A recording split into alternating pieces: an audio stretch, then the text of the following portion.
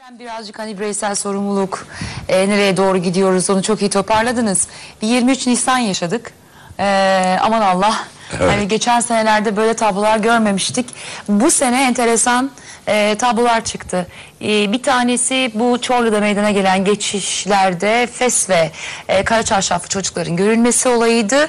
İkincisi de yine aynı günde e, Türkiye Büyük Millet Meclisi'nde e, ben yanlış bilmiyorum değil mi? Dünya e, Sağlık Örgütü de pek çok aslında ülkenin şeyinde de eğer farklı bir kanun yoksa e, çocuk 18 yaşına kadar sayılır. Evet. E, başka bir ek bir şey durum yoksa. evet. Fakat Türkiye Büyük Millet Meclisi'nde 21 yaşını e, doldurmuş 21 yaşında e, İmam Hatipli e, gençler e, 23 Nisan'da e, konuştular.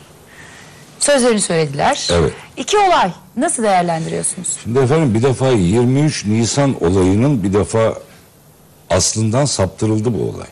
23 Nisan nedir diye baktığımız zaman bu Türkiye'nin egemenliğiyle bağlantılı bir olay.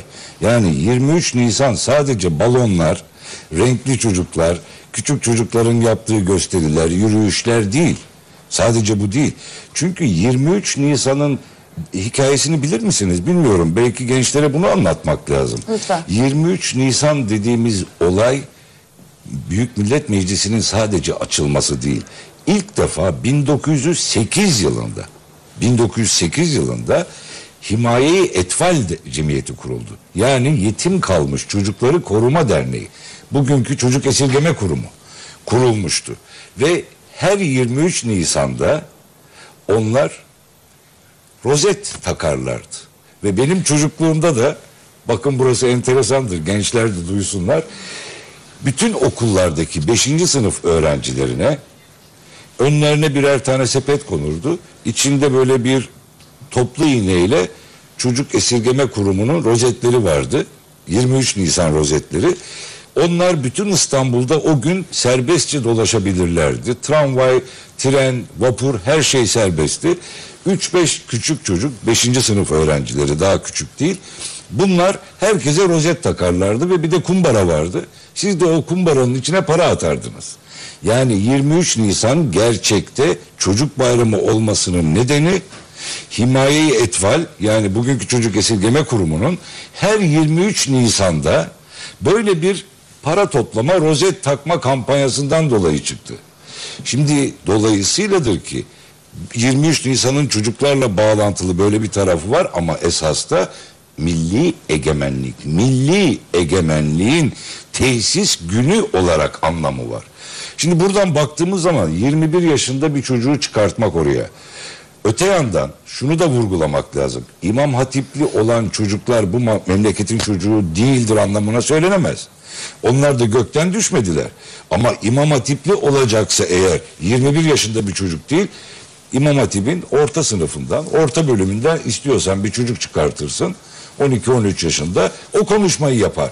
Mutlaka İmam Hatipli olacaksa. Yalnız demin de söylediğim gibi İmam Hatiplileri elinin tersiyle it diye bir olay söylenemez. Çünkü bu okullar da Türkiye Cumhuriyeti Devleti'nin okulu. Burada okuyan çocuklar da bu memleketin çocuğu yani. Hayır bunları istemiyoruz gibi bir anlam çıkmamalıdır. Baktığınız zaman fes giydirme şey korkunç bir rezalet. Onu söylemeye hiç gerek yok. Neye istinaden, niçin yapılmış? Efendim Kurtuluş Savaşı'nda, İstiklal Harbi'nde işte fesli ve kara çarşaflı. Tarihi hatırlatmak. Ka- bakın nereden Ama nereye dakika, geldik. Bakın ama bir üçkağıtçılık var işin içinde. Bir kötü niyet var. Kara çarşaflı yok o sırada. Tabii. Yani İstiklal Harbi'ne katılan kadınlarımız var.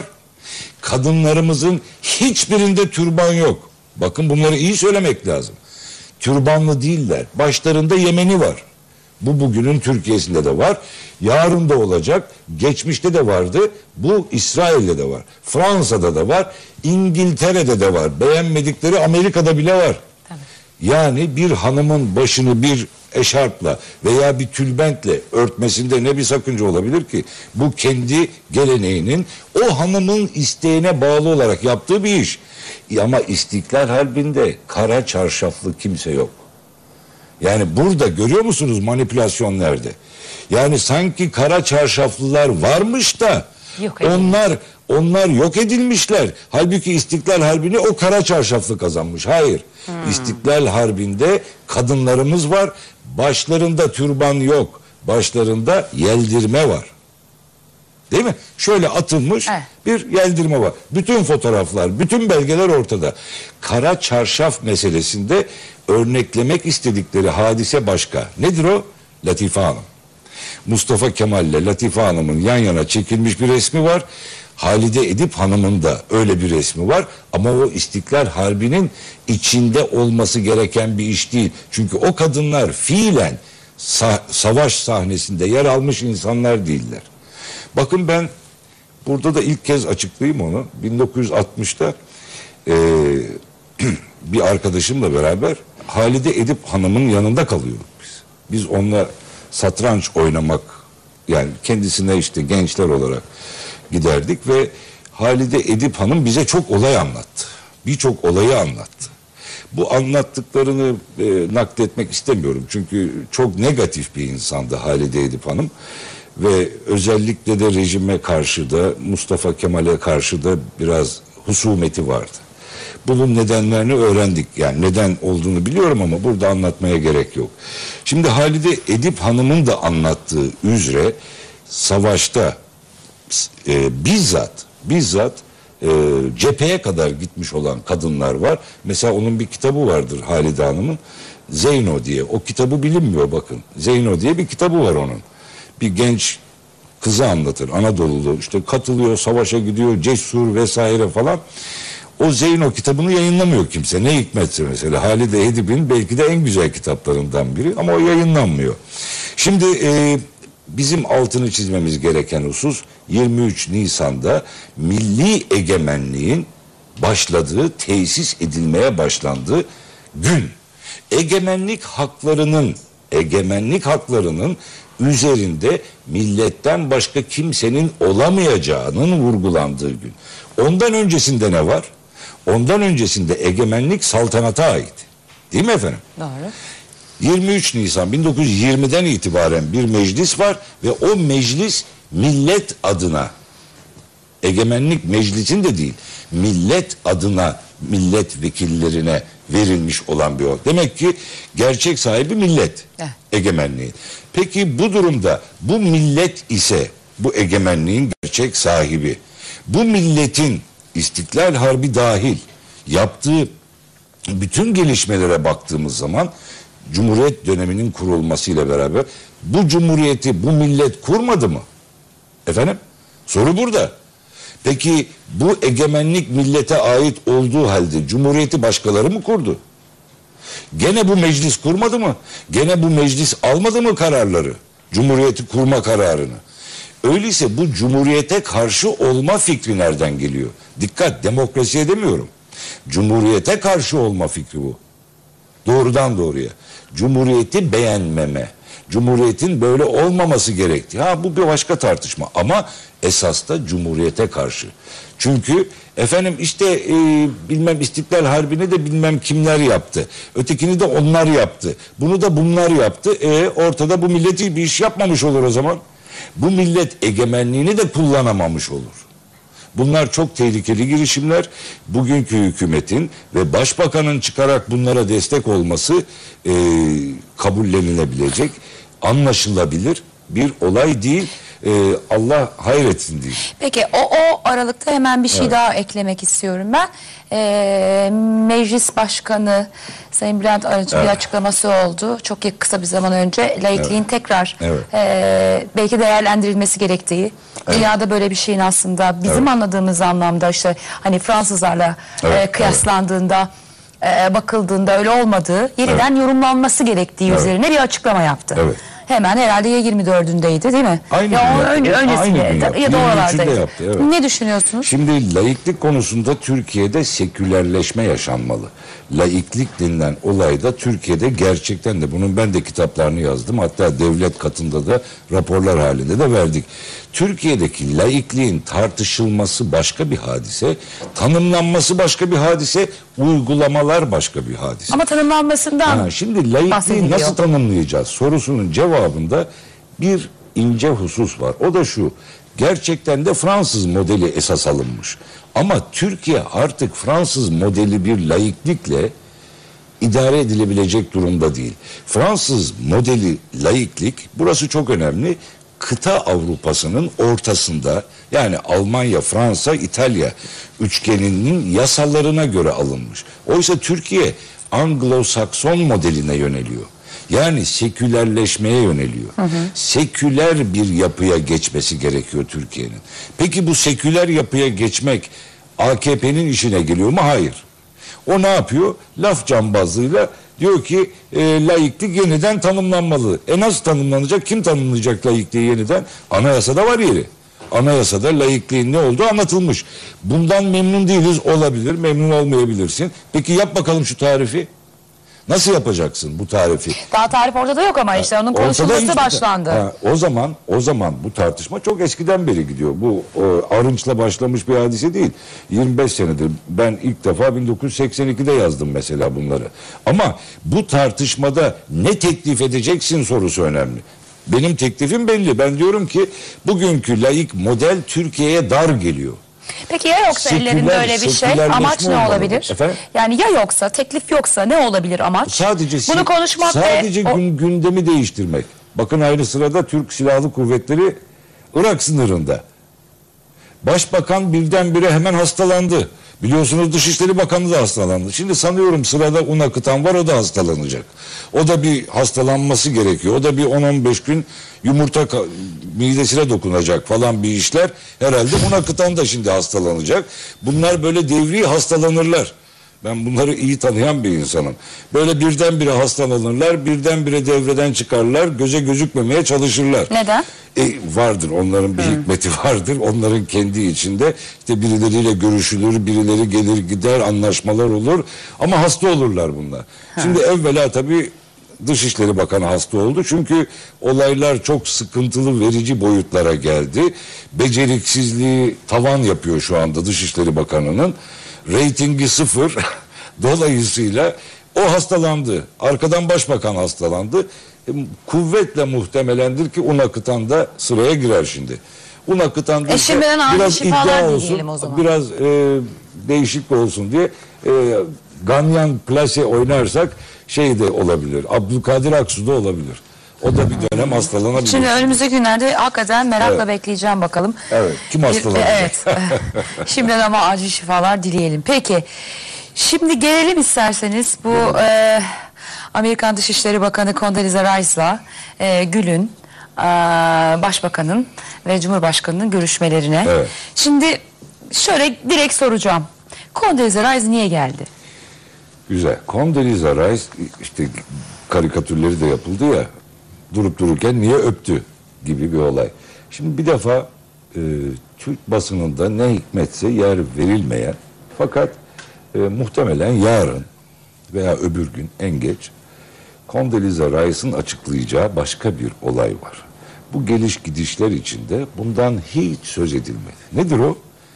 Amerikan Deniz Kuvvetleri'nin donanmasının Karadeniz'e çıkma isteği var. Ve bu bizim Montreux Anlaşmamızın 12. 11. maddelerinin ihlal edildiği takdirde çıkabiliyor. Demek ki Montreux gündemde ve diyor ki Amerika benim Akdeniz'deki donanmamı ben Karadeniz'e çıkartacağım diyor. Bana izin vereceksin diyor Türkiye'ye. Bir çok önemli bir şey söylüyorsunuz. Evet bir kere daha söylüyorum. Şimdi bunu Türkiye'de Condoleezza Rice hükümete bildirmiştir ama açıklamasını Bulgaristan'a gidecek ya şimdi. Bulgaristan'da Sofya'da yapacak açıklamayı. Kuvvetle muhtemelen yarın ya da öbür gün gazetelerde okuyacaksınız. Ama ilk kez senin bu programında burada biz söylemiş olalım. Teşekkürler. Evet. Hakikaten çok enteresan bir şey Bunu söylediniz. edin lütfen. Evet. Evet.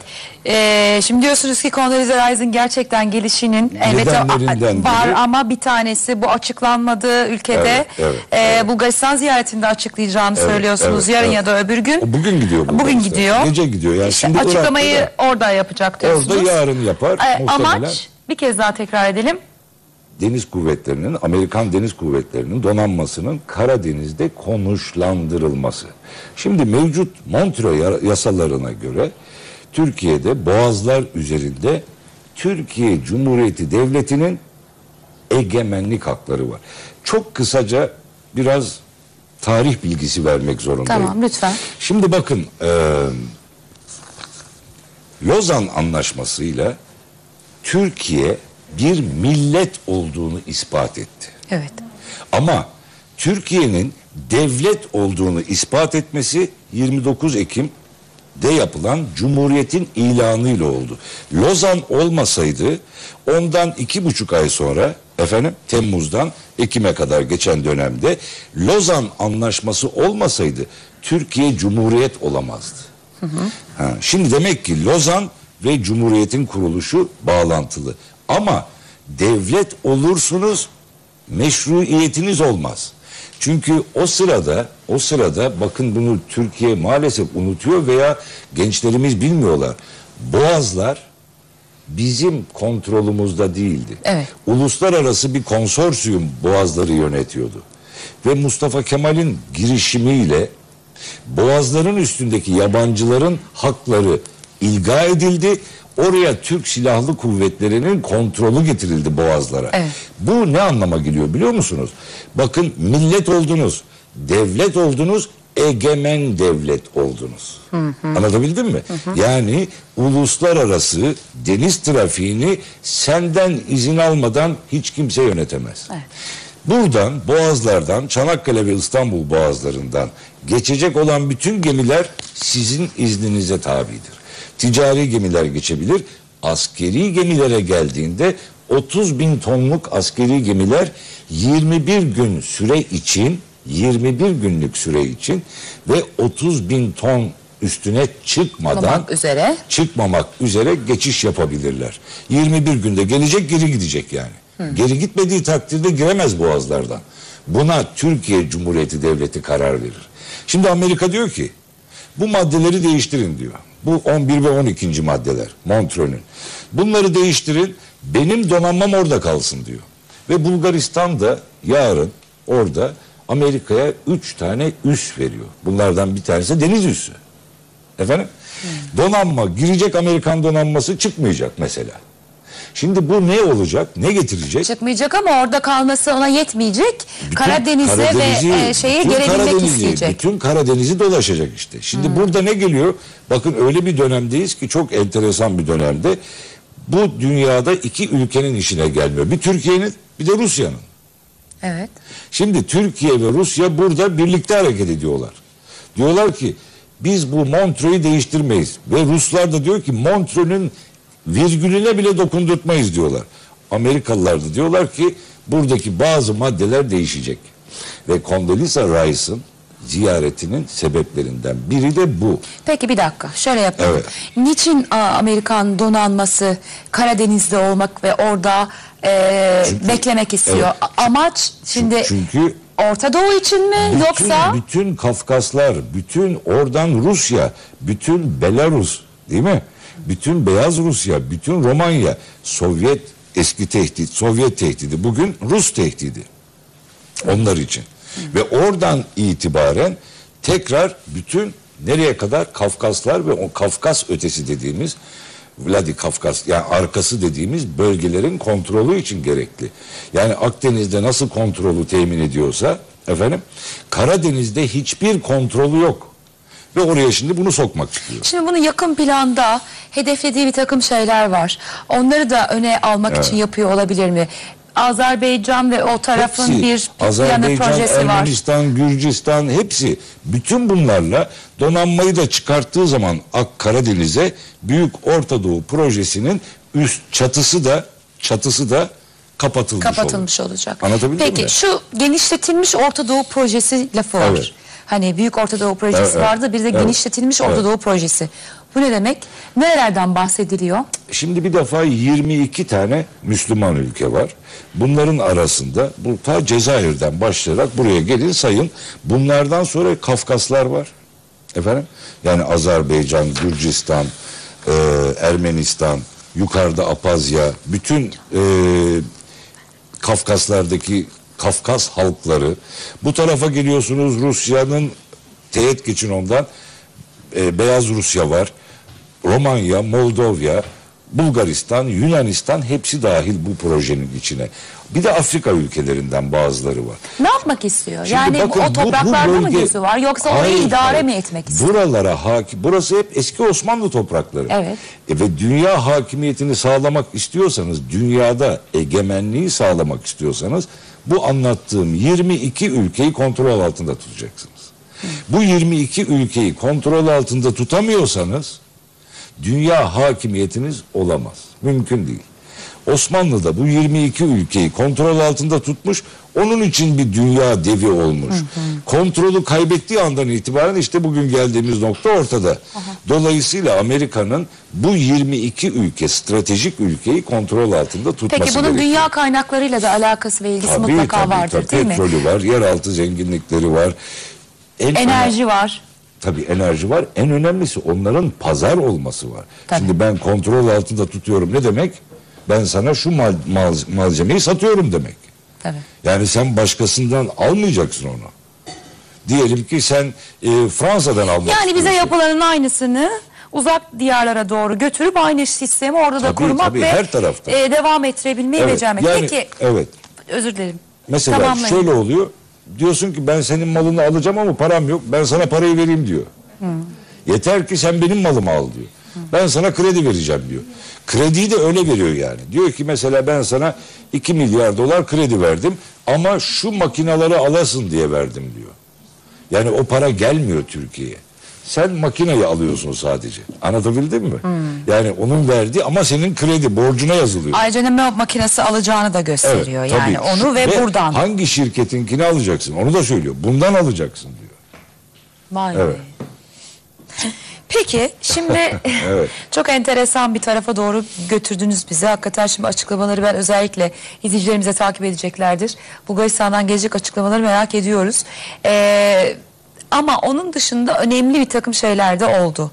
Bir kelime daha doğrusu bir cümle oturtturuldu o ziyaretinde Condoleezza Rice'ın ortak vizyon belgesi dendi. Evet. Şimdi birden biz bir belgeyle karşılaştık. Evet. Bu belge hakikaten birden bugün 16 saatlik yapılan e, konuşmalarda mı çıktı ortaya? Hayır efendim olur mu? Bakın e, bir belge oluşturalım diyorlar. Ha, metin yazalım, bunu Demek- karşılıklı Demek imzalayalım. ki ortada bir ortak vizyon yok zaten. Ha bir kere yok. Bir defa ortada bir ortak vizyon yok ki ya bir ortak vizyon belgesi hazırlayalım diyorsunuz. Değil mi? Yani bir evlilik akti yapalım der gibi yani. Ya evlenelim ama bir önceden bir tespit edelim neyin ne olduğunu. Demek ki bugünkü hükümetiyle Türkiye Cumhuriyeti Devleti ile değil bugünkü hükümetle mevcut Amerikan yönetimi arasında ortak vizyon olmadığı için bir ortak vizyon belgesi hazırlama ihtiyacı doğmuş. Ha, şimdi ama açıklamalar şu yönde. İşte bizim hani yıllardır söylediğimiz Türk-Amerikan dostluğu, hedeflerimiz, misyonlarımız bir yan Evet. yana duruyoruz. Burada bazı sapmalar oldu. Özellikle AKP e, hükümetiyle birlikte bir takım sert çıkışlar meydana geldi. İşte Hamas'la görüştünüz, onu yaptınız, bunu yaptınız. evet. Hani bunları tam bir noktaya getirelim. Bunun adını koyalım artık. Ya bunları korkutmak için o Amerikan politikası Hamas'la görüşüyor. Rusya da görüşüyor Hamas'la, Çin de görüşüyor. O İsrail meselesi için. Şimdi şunu unutmamak gerekiyor. Orta Doğu'da Amerikan siyaseti İsrail'in güvenliği içindir. İsrail'in varlığı ve güvenliği için. Bunun dışında hiçbir olay için Amerika'nın öyle birinci dereceden concern olduğu yani ilgilendiği bir mesele yok. Demek ki İsrail'in varlığı ve güvenliği. Esas olan bu. Bütün Orta Doğu politikası Amerika'nın Orta Doğu politikasının temelinde İsrail'in güvenliği ve varlığı yatar. Ama şimdi bakın ortaya gelen durumda bir stratejik müttefiklik var. Bir de stratejik ortaklık var. Bunları iyi anlamak lazım. Yani özellikle de e, hanımlarımıza iyi anlatalım. Stratejik müttefik olmak biz NATO'da Amerika ile beraberiz değil mi? Evet. İşte o bir stratejik müttefiklik. Ama Amerika ile İsrail stratejik ortak. Anlatabiliyor muyum? Onlar ortak. Orada belli bir ülkü birliği de var. Belli bir ideal birliği de var. Türkiye ile stratejik ortaklık belgesi veya vizyonu veya ortaklığa doğru gidecek bir belge imzalanırsa Amerika o zaman diyecek ki ben sizinle stratejik ortak mıyım? Orta. Aç bakalım şu Boğazı. boğazları şu bizim gemiler geçsin bakalım diye verecek o zaman. Yani zaman yaptığım siz- gücü sizi- olan bir şey ortaya çıkacak. Amaç Evet, onu oraya evet. getirmek değil mi? Evet çünkü Türkiye'nin bütün istediği bugünkü hükümetin stratejik ortağı olmak Amerika'nın. Ortağı olamazsın. Olabilmen için yapman gerekenler var. Bunların başında eğer bir stratejik ortak isek Amerika'da sana diyecek ki haklı olarak biz ortak mıyız kardeşim? Ortağız. Güzel aç şunları güvenliğimiz için senin ve benim güvenliğim için bu donanmanın Karadeniz'de durması gerekiyor. Evet, Anlatabildim mi? Ha. Peki şimdi bir, bir, bir şey daha soracağım. Ondan sonra reklama geçeceğiz. Yine sohbete devam edeceğiz ama şimdi hep bilinen bir şey var. Amerika hep bize işte küçük kardeşi gibi öyle bir havada. İşte biraz başımızı sıvazlar. Aman biz ortağız. Aa olur mu hani? İşte AB'ye üye olmamızı son derece destekliyor falan. Bunlar bence görünen işin hani balon kısımları. Bunu yapıyor yapıyor da bunu yıllardır yapıyor. En son mesela Irak operasyonunda ve Türkiye'nin kazanımlarına baktığımızda hiçbir şey yok. Yani aksine Türkiye'nin çok ciddi zararla çıktığını görüyoruz. Tabii. Şimdi burada da bir parmak bal var. Evet. Yani böyle yine bize aman ortağız bak strateji belge imzalıyoruz sen ve ben var ya süper olacağız. Hani böyle bir a- hakikaten Aynen öyle işte. Çok hava güzel esiliyor. anlatıyorsunuz. Evet. Gayet güzel Ama bunun altından ne çıkacak? Yani Türkiye Cumhuriyeti bununla e, ilgili olarak neleri veriyor? Neleri kaybetmek üzere? Ba- Başta başta dediğim gibi egemenlik haklarının kısmi devri söz konusudur. Yani boğazlar üzerindeki egemenlik hakkınızı kaybettiğiniz anda devlet olma özelliğinizi de kaybedersiniz. Bu bir. Ama en önemlisi, en önemlisi öyle bir açmaza getirdiler ki bu hükümetin beceriksizliği, bilgisizliği ve e, tabir caizse dış politikadaki cehaletinden dolayı. Bakın İran da rejimin getirdiği Ahmedi Nejat'ın görüşleri egemen olur da kazanır da İran bu işten zaferle çıkarsa Türkiye gene zararda. Amerika kazanırsa Türkiye gene zararda. İşe bakın. Yani Amerika'nın kazanması da İran'ın kazanması da Türkiye için tehlike. İran kazanırsa Türkiye'ye rejim ithal eder, ihraç eder. Şimdi bir dakika o zaman İran'ın nükleer konu, e, faaliyetler konusundaki davranışları sadece bir bahaneden mi ibaret? Hayır, Oradaki hayır, hayır. İran nükleer silah yaptığı takdirde ve buna da Amerika müdahale edemedi diyelim. Değil mi? Ahmadinejad diyor ki müdahale edersen şöyle şöyle yaparız Evet. diyor. Güzel. Ve bunu göze alamadı Amerika mesela. Ve İran nükleer silahlarını yaptı. Bundan zararlı çıkacak olan kim? Türkiye. Çünkü neden? Bu defa rejim ihraç edecek sana. Ben diyecek süper gücüm, ben de süper gücüm İran olarak. Bende de nükleer silah var. Dolayısıyla rejim ihracı söz konusu İran'dan. Tersi olursa, tersi olur da Amerika İran'daki tesisleri vurursa ki galiba ver- verilen rakama göre 310 tane tesis var. Yani bunlar siyasi ve sosyal ve teknik tesisler. 310 yeri bombaladığı takdirde, nokta bomba attığı takdirde 310 yeriyle ondan sonrasında Amerika kazandı bu işi. İran nükleer silah yapamadı. Ama gene Türkiye zararlı çıkacak. Neden? Çünkü birincisi Türkiye İran üzerinden bütün Avrasya'ya açılıyor. Gürbudak kapısı dolayısıyla. Efendim? Bütün bir milyon turisti var İran'ın her sene Türkiye'ye gelen ve büyük ticaret var Türkiye ile İran arasında. Şimdi zaten en son gel, e, ziyarette konuşulan şeylerden bir tanesi de oydu. Ekonomik am- evet, ambargo uygulayın. Ya. e, uygulayınızı istiyoruz Peki gibi bir şey. Gül de ona karşılık hani biz ekonomik ambargo ile değil bu işin diplomasiyle çözülmesinden yanayız gibi bir açıklama O yaptı. Klasik laf. Onlar Hayır. yani hep öyle söyleyeceksin. Ama yapacak mı ki? gözüküyor? Yani Ha nasıl yapabilir bu Amerika- durumda bu kadar ciddi? Amerika vurmaz, İsrail'i vurur. Yani Amerika İsrail'le birlikte İran'ı vurur. Peki vurur da ne olur? Sonrası Amerika'nın çok aleyhine olur. Burada İsrail'i mi görüyorsunuz? Bu İngiltere kesin, nerede? İngiltere bu işe girmez. Girmez. Hiç mümkün değil. Yani- İngiltere çok uyanıktır. Bu pis işi Amerika ile İsrail'in üstüne atar. Bu haksız. Irak'ta girdi ama. Irak başka, Irak eski İngiliz kolonisi. Unutmayın. Yani Irak devletini kuran İngilizler. Suriye'yi kuran da Fransızlar. Bakın Fransızlar gitmediler Irak'a. İngilizler gitti oraya. Peki konuşmaya devam edeceğiz. Yine reklamlar için kısa bir aramız var. Aradan sonra buradayız. Ee, şimdi bu yapılan ziyarette hep aslında altı çizilen ama bu ziyarette daha da bir altı çizildi. Onun da sebebini sormak istiyorum. Türkiye'nin rejiminin e, örnek model olduğu, e, işte hem dini ve vec- vecibelerinizi yerine rahatlıkla getirebiliyorsunuz hem de laiksiniz. Dolayısıyla bu bizim için çok önemli. E, söylemleri, nin nedenlerini e, biraz açacaksınız ama aynı zamanda biraz önce söylediğiniz oradaki rejimi buraya işte eğer İran başarılı olursa getirebilir. E, bununla bağlantılı mı acaba? Şimdi efendim bir rejim var bir sistem var. Aha. Rejim cumhuriyetin özelliğidir. Sistem demokrasinin özelliğidir. Rejim ve sistem iki tane farklı olay. Türkiye'de Türkiye'nin rejimi laiklik esas alınarak hazırlanmış olan bir rejimdir. Dolayısıyladır ki sistem de parlamenterizmdir. Türkiye'nin sistemi parlamenter sistemdir. Yani parlamento olacak demektir bu. Mutlaka e, başka ülkelerde sistem olmayabilir, parlamento olmayabilir, cumhuriyet olabilir. Ve rejim laiklik üzerine veya şeriat üzerine olabilir İran'da olduğu gibi. İran İslam Cumhuriyeti adı ama rejimin belirleyen, rejimi belirleyen İslam dini değil mi? Evet. Bizde ise rejimi belirleyen laiklik. Sistemi belirleyen parlamenter sistem. Yani parlamentoya dayalı olması. Yani anayasal bir sistem olması. Peki şimdi bu eğer Türkiye'nin yapısı böyle ise bu olması gereken yapıdır. Yani cumhuriyet ve demokrasi meselesinde belirleyici olan daima cumhuriyettir.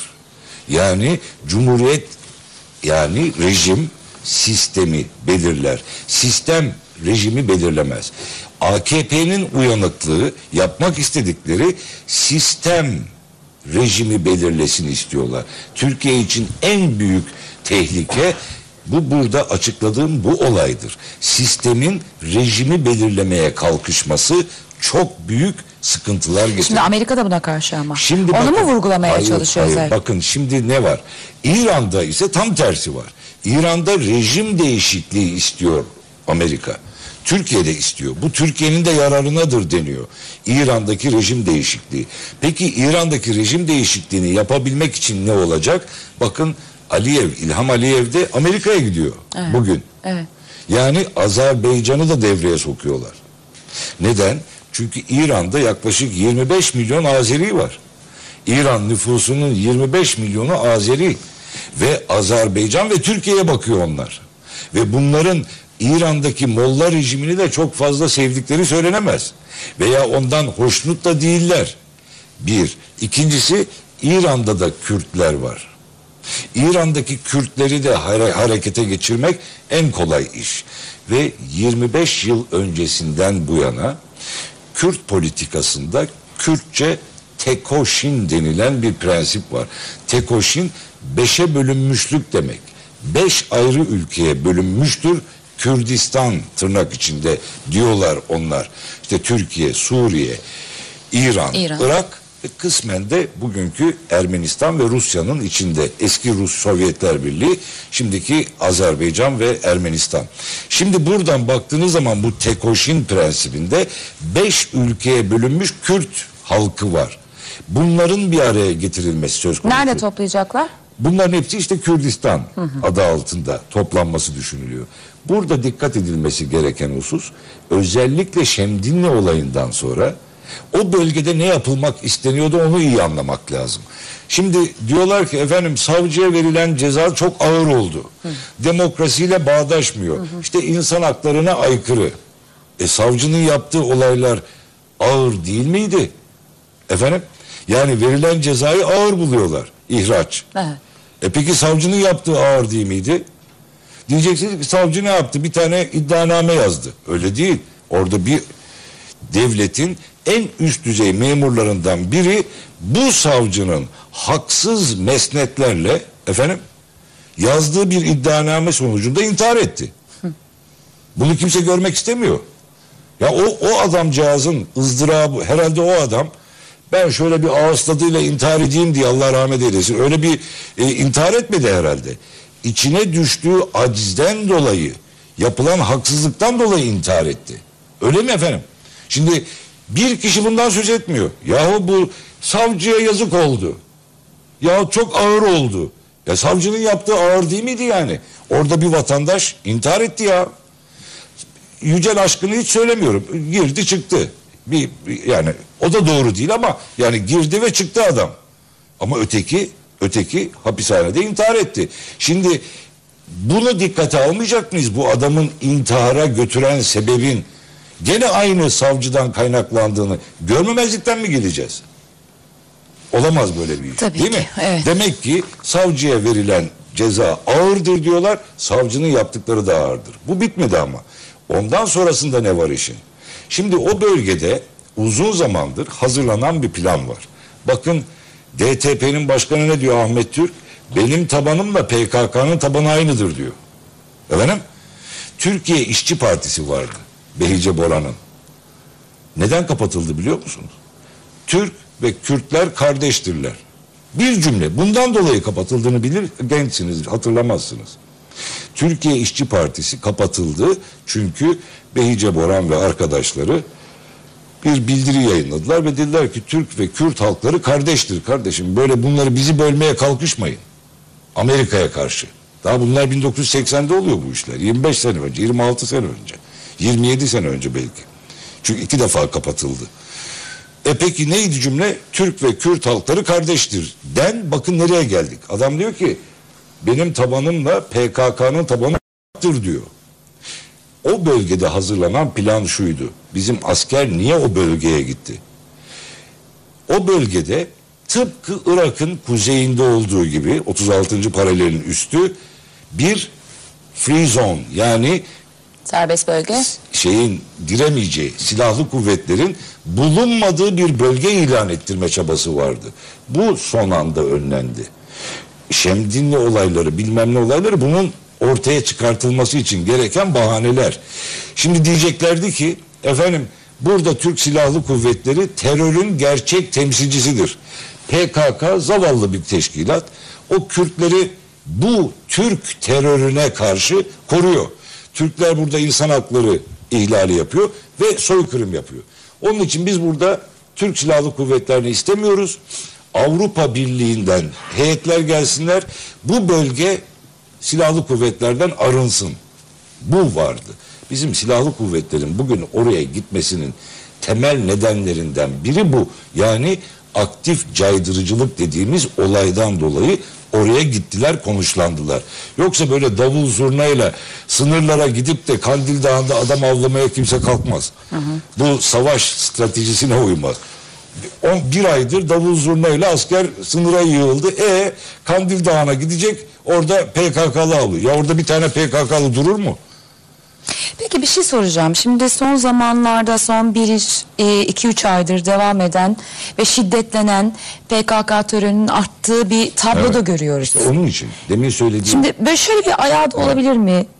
Hani kendi kendime şey yapacağım, serbest düşünceye gireceğim. Evet. Ee, orada bu olaylar bu kadar gündeme getirilip birazcık belki tahrik, birazcık Tabii. bakın burada ciddi bir şey var, biraz canımız yanacak. Evet. Ee, öbür taraftan Condoleezza Rice gelecek. Bütün bu paketin içinde, ortak vizyon anlaşmasının içinde biz PKK'yı ilk tanıyanlardan biriyiz ve bu konuda size yardım edeceğiz. Bakın Evet. ne kadar canınız yanıyor. Yani o gelmeden de önce bu kadar çok şehit verdik eti. Ya birazcık da e, oraya doğru bir e, Evet, iti- işaret itiş. de var mı? yani Şimdi- itiş var mı? Bakın PKK olsun bütün Kürt hareketini A'dan Z'ye Amerika yönetiyor. Heh? Yani Amerika yönetiyor. Hatta bundan dört sene önceydi. e, Kürt Network diye bir şey kurdu Amerika. Bunun da fotoğraflarını çektik biz Amerika'da getirdik. Teslim ettik. İşte şu bina şurada şu şekilde şöyle diye gösterdik Washington'la e, Washington Bulvarı diye bir yer var orada. Şimdi bu binanın da yerini, ye- yurdunu tespit edip verdik. Dedik ki bakın Amerikalılar buradan yönetiyorlar. PKK'yı da, Talabani'yi de, Barzani'yi de vesaireyi de. Hakikaten de öyleydi. Nitekim ondan sonra o binayı değiştirmek zorunda kaldı Amerikalılar vesaire. Şimdi efendim e, Irak'ın kuzeyinde PKK'yı Amerika Türkiye aleyhinde bir koz olarak tutuyor elinde. Bunu sadece Türkiye için değil, ileride İran'da problem çıkartabilmek için de tutuyor, Suriye için de tutuyor. Orada problemi çıkartacak olan kim? Barzani çıkartamaz, Talabani çıkartamaz. Bir tek PKK o bölgede silahlı eylemlerle olay çıkartabilir. Şimdi diyor ki efendim işte Amerikalılar bize istihbarat vermişler. Verdikleri istihbaratın sonunda işte bir yerde 14 bir yerde 17 tane terörist yakalanmış veya öldürülmüş, itlaf edilmiş. Neyse yani. Ha bu ne anlama gelir? Sen kendi sınırlarını zaten koruyamıyorsun bak. Türkiye öyle yutturuluyor bu. Yani Türkiye'nin bir istihbarat zaafı var. Türk Silahlı Kuvvetleri beceremiyor bu işi. Amerikalı ta Washington'dan görüyor. 14 tane terörist bakın bilmem ne dağının kenarındalar. Hadi gidin temizleyin diyor sanki.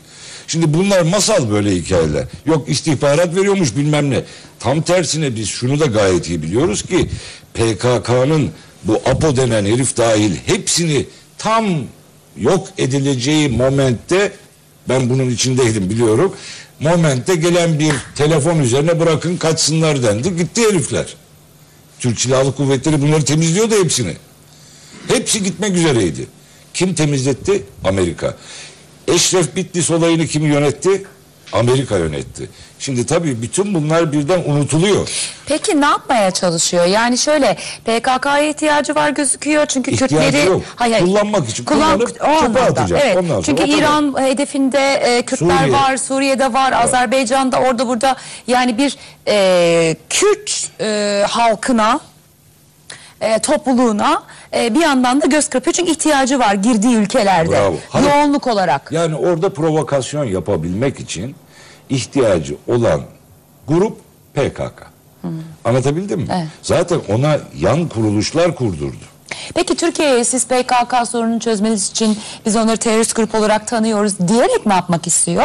Sadece oyalıyor mu? Bakın burada bir çok enteresan bir olay var. Bunu e, iyi anlamamız lazım.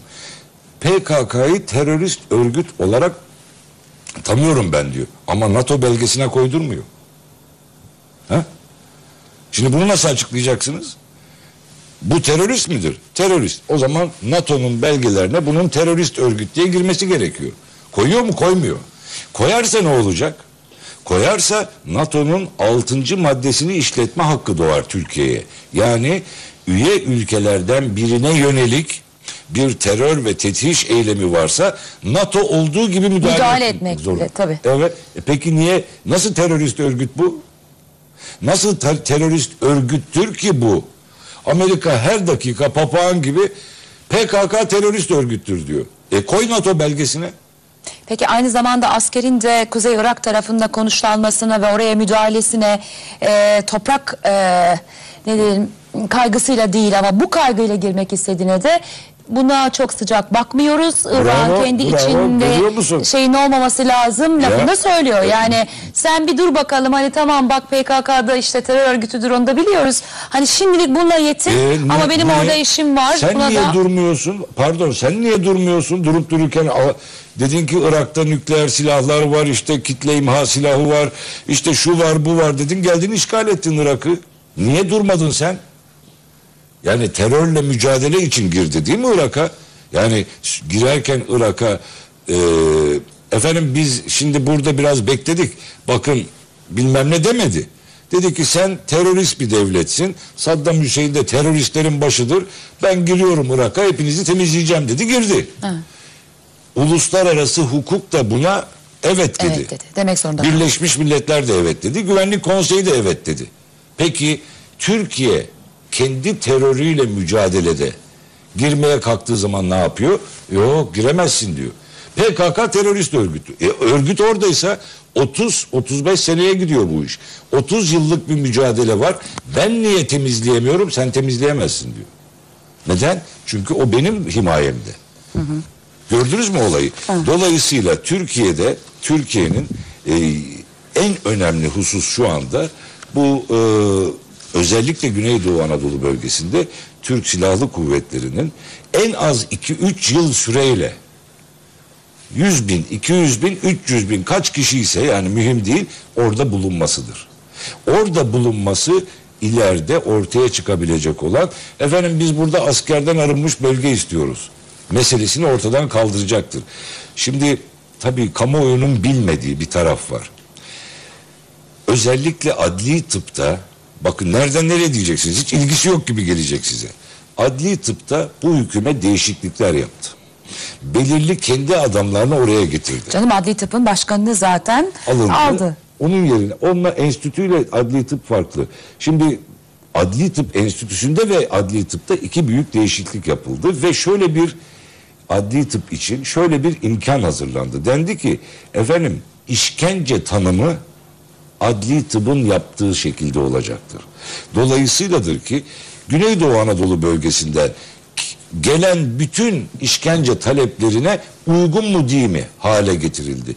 İşkence bugün dünyada insan hakları meselesinde bir numaralı konu. Efendim?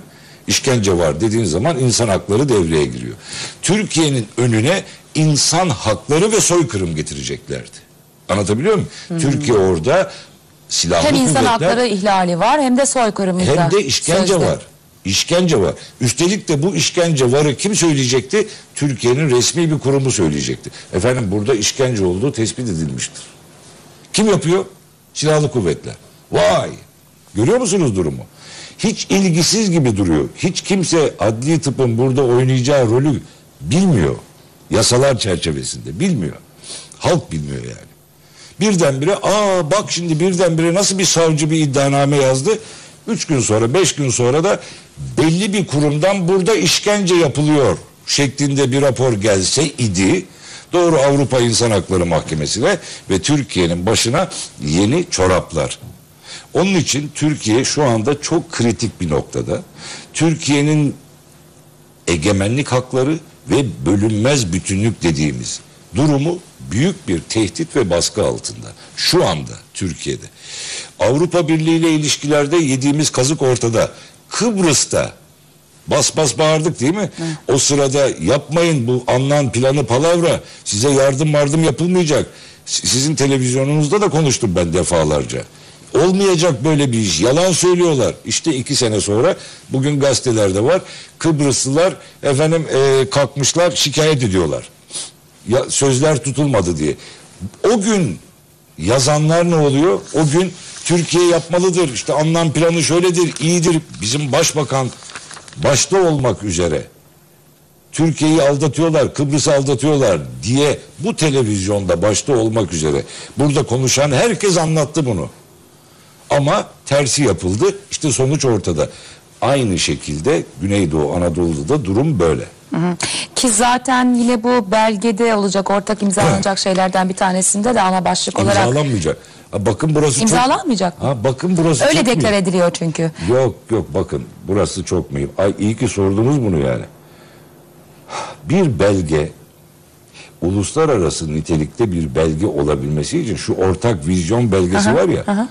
altında meclislerin de onayından geçerek gelir. Şimdi bu belgede imza bulunmayacak altında. Bakın burası çok önemli. Yani bir hülle bu. Nasıl bir hülle? Şöyle bir hülle. Efendim biz evlendik. E at deftere imzayı, deftere imzayı atmıyoruz kardeşim. Biz evliyiz ama. Demek neyse hanımlar açısından söylüyorum. Yani özellikle de o imza orada olmadığı için evli mevli sayılmazsın. Ortak vizyon falan yok ortada. Bir kere daha altını çizerek söylüyorum. Bu belge hazırlanacak. Belgenin altında ne Türkiye'nin ne Amerika'nın imzası olacak. Şimdi yani enteresan. altında imza Evet. yok. Şimdi bakın bağlayıcı değil diye gazetelere de girdi zaten. Bu belge ikili ilişkilerde bir yol haritası niteliği taşıyor. Şu aşamada belgenin imzalanacak nitelikte olması yönünde bir görüş bulunmadığı belirtiliyor. Evet. O Şimdi orada esas esas Belgeyi hazırlayanları gördünüz mü? ha bilmiyorum bakmadım. Ee, Evet. Türk ve e, Amerikan Dışişleri Bakanları teknik heyetleri tarafından hazırlanıyormuş. Belge başlıkları istişare toplantılarında belirlenerek iki ülke bakanlıklarında hazırlanan bölümler onaya sunuluyormuş. Türkiye'nin Washington Büyükelçiliği ve Amerika'nın Ankara Büyükelçiliği mekik okuyormuş. Evet. Şimdi orada kilit kavram e, hanımlarımız da inşallah dikkat gösterirler. Oradaki kilit kavram ikili ilişkiler. Türkiye ve Amerika arasında Amerika Türkiye'nin Lozan Anlaşması'nı tanımadığı için yani Amerika'nın gözünde Türkiye devlet değil. Güneydoğu ve Ermenistan sınırları onaylanmış değil. Bir kere daha söyleyelim. Amerika Türkiye'nin Güneydoğu sınırlarını ve Ermenistan sınırını kabul etmiyor. Etmediği için bizim bütün anlaşmalarımız Amerika ile ikili anlaşmalar çerçevesinde yürüyor. Bilinen 143 tane ikili anlaşma var ama bunun 700-800 tane olduğu söylenir. Bilebildiklerimiz 143 tanesi. Efendim bu ikili anlaşmalar çerçevesinde işte bu vizyon denilen palavra belge hazırlanacak. Hazırlanan bu belgenin altında imza falan da olmayacak. Biz evleneceğiz. Fakat hanımefendinin hiçbir statüsü yok. Benim ne malımdan mülkümden bir şey alabilir. Dini nikah mı? Bu dini nikah bile değil. Değil, Onda o hiç değilse bir imam var, Var, yani. bir şahit o var, bir imam var. o imam şey anasını beller yani herifin dini nikahta. Burada o da yok. Haham bile yok yani işin içinde. Bir şey okuyacağım. Şimdi Evet. gazetede düşmüşler onu. Bakın sizin söylediğiniz e, Montreux'u yeniden meydana getirmeye çalışıyorlar. Karadeniz'e e, donanma. Yani Şimdi bakın. gazete bu? Hayır hayır o, ciddi- o değil. Evet, O yok. evet. Ama gizli kapaklı acaba oraya gelir mi? Hazar enerji kaynaklarının batıya ulaştırılmasında işbirliği ve enerji yollarının güvenliğinin sağlanması. Şimdi İşte, direkt oraya evet. işaret ediyor. Bir daha bir İşte, şey daha evet. var. Siyasi savunma Ya. ve ekonomik konularında oluşturulacak kalıcı yeni mekanizmalarla her düzeyde yoğun işbirliği. Bu da oraya işaret Bunu- ediyor. bunlar Peki. öyle bir numaralardır ki bu diplomatik değil. Nereye çeksen Hayır ama oraya okuyunca gider. vay diyorsunuz. Tabii ya neler Yani, oluyor falan. Aa, bravo ya yani bizim ne kadar hani Amerika ile baksana bir de hani belge imzalıyoruz falan. Evet, ama için içine bakınca e, öyle olmadığı gözüküyor. Peki yine reklamlar var. Reklamlardan sonra buradayız. Evet sohbetimizin de son dakikalarına girdik. Programın da süresi hakikaten böyle bugün aktı gitti. Keşke bitmeseydi. Çok keyif alıyorum ben sizinle konuşmaktan. Aydınlanıyorum bir kere. Teşekkür ederim. Çok şey öğreniyorum. O yüzden çok değerlisiniz bizim için. izleyenler faydası için de. oluyorsa ne mutlu. Çok teşekkürler. Şimdi daha konuşacağımız meseleler vardı ama birazcık da gülümseyerek e, daha böyle yumuşak bitirelim. Bir, bir şey görüyorum. Siyasette kadını baktığınızda e, kadınlık unsurlarını çok görmüyorsunuz. E, Condoleezza Rice'ı değerlendirdiğinizde e, ne görüyorsunuz? Nasıl bir tablo? Şimdi bakın çok ilginçtir. Kadınlar iki alanda teknolojide ve siyasette erkekleşerek teknolojiye ve siyasete giriyorlar. Bunlara da Amerika'da he woman deniyor. Yani erkek kadınlar deniyor. Böyle bir kelimeleri var. Şimdi Condoleezza Rice'ın bütün duyuş, düşünüş ve davranışları kadınca değil. Tamamen erkekçe davranışlar içinde ve erkekler dünyası içinde erkekler dünyasında yapılanları yaptığı için Dışişleri Bakanı. Yoksa kadınlara özgü kadınlığını kullanabilerek yani duyuş, düşünüş ve davranışlarında Duygusal açıdan, duygusallığı açıdan, vesaireyi dikkate alarak açısından. bir kadın yumuşaklığı katabilmesi mümkün değil. Katarsa zaten Dışişleri Bakanı olamaz. Peki ama Atina'da da Dışişleri Bakanı bir kadın. Evet. Ee, o orada mesela ben baktım fark olarak. Ee, da, orada daha kadın kadın görüyorsunuz aslında. E, evet. Neden? Çünkü o bizim buralı. Yani Akdeniz. Akdenizli o. O Akdenizli olduğu için ötekinin öyle bir tarafı yok. Son derece kategorik ve erkekler dünyasının bütün değerlerini benimsemiş olarak orada. Şimdi bir e, Fransa'da bir tez hazırlanıyor. Kadın ve teknoloji konusunda feministlerin pek seveceği bir tez değil. E, Selin Şen Ocak hazırlıyor. bu verildi yani tezini yaptı bitirdi. İnovasyon, yaratıcılık yani mu icatlar vesaire teknolojide onun bulduğu bir konu var. Çok en- enteresan. Diyor ki kadınlar teknolojiye girmiyorlar çünkü teknolojiyi romantik bulmuyorlar diyor. Yani romantik bir tarafı yok. Vida yapmanın ya da vida icat etmenin romantik bir tarafı yok. Kadın açısından diye. Siyaset de öyle. Siyasette de daha önce değerler konulmuş. Olması gerekenler belli. Kadınlar orada biraz vitrin oluyorlar. Bakın Margaret Thatcher'ı alın. Margaret Thatcher başbakan oldu, savaş çıkardı. Şeyde e, Seylan'da, Sri, yani bugünkü Sri Lanka'da e, bakıyorsunuz e, Bandiranayk geldi başbakan oldu kadın olarak savaş çıkarttı. Bir tek Peki ama kadınların Norveç'te savaş çıkarmayacağı fikri ve düşüncesi nereden Ha, geliyor? kadınların yani hiç değilse kadınlar ölüme karşıdırlar. Kan dökülmesine karşıdırlar diye 70'lerde bir tez vardı. Feministlerin bir tezi vardı. Efendim kadınlar iktidara gelsinler, kadınlar başbakan olsunlar. Dünyada savaşların sonu gelir diye bir tez vardı. Kadınlar iktidara geldiler. Beş kadın başbakan oldu dünyada. Dördü savaş çıkarttı. Norveç'te başbakan oldu bir hanım. O bile neredeyse savaş çıkartıyordu. Neden? İstediği için değil. Şartları öyle bir ayarlıyorlar ki bu erkekler dünyasında siyasi şartlar öyle bir geliyor ki savaşın çıkacağı dönemde bir kadını göstermelik olarak başbakan yapıyorlar orada. Başka türlü bir karar alması mümkün değil. Tansu Çiller'e baktığınızda O bile yapıyordu. O bile Tansu bizim Tansu Çiller bile yani biraz hakkını verelim. Bunlardan daha cesurdu. Yani İran'a savaş açmaya kalktı da son anda Cumhurbaşkanı ya ne yapıyorsun diye jetleri indirdi aşağıya. Yani yoksa hadi gidin vurun falan dedi. Herkes birbirine girdi. Genelkurmay Başkanı hemen Süleyman Bey'i aradı. Süleyman Bey dur kızım sen ne yapıyorsun? Nereden çıktı bu? Efendim ben savaş emri ver. Bırak yapma etme falan. Ancak öyle gitti. Biliyorsunuz Tansu Hanım kızdığı zaman da eline ne geçirirse başkasının kafasına ama atardı. şimdi yanlış anlaşılmasın ama hani kadın iktidara gelince de siyasete soyunca savaş çıkarıyor gibi bir şey. Hayır, hayır, Ben bahsetmiyoruz. tam tersine. Erkek dünyası içinde İçinde o değerlere kendini kaptırmaması lazım. Ama o zaman da iktidara gelemiyorsun. Aksilik burada. Yani o değerlere e, o değerleri İşte o yüzden siyasette kotanın olması gerekli bir de bunun içinde işte zorunlu. kadınların teknolojiye ve siyasete ilgilerinde kadınca planlar, projeler getirebilmeleri gerekiyor.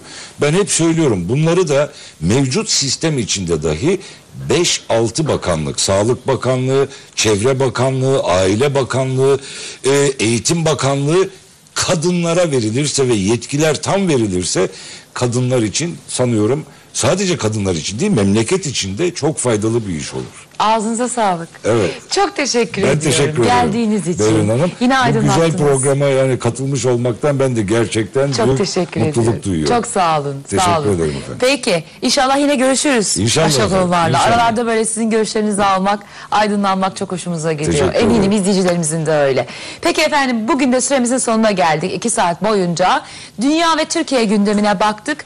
Amerika Birleşik Devletleri Dışişleri Bakanı'nın ziyaretine özellikle eğildik. Yapılan diplomatik görüşmelerin görünmeyen taraflarının altını çizmeye çalıştık. Yarın Perşembe saatler 2'yi gösterdiğinde tekrar sizlerle birlikte olmayı umut ediyoruz. Kendinize çok iyi bakın. Hoşçakalın. Çok teşekkür